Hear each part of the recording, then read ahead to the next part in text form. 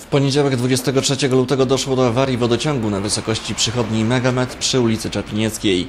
Pomimo szybkiej reakcji pracowników spółki Wodkan doszło do kolejnego uszkodzenia. We wtorek 24 lutego służby podjęły się wymiany wyeksploatowanego odcinka sieci wodociągowej. Prace mogą potrwać do godzin popołudniowych. Tymczasowo wody pozbawieni są mieszkańcy bloku numer 100, zespoły szkół ponadgimnazjalnych numer 3 i numer 4 oraz pobliska pizzeria. Na miejscu podstawione są już beczkowozy. Nie ma zagrożenia dostawy wody dla przychodni Megamed i szpitala, które zasilane są z innej nitki wodociągu. Pracownicy spółki Wodkan przepraszają za niedogodności.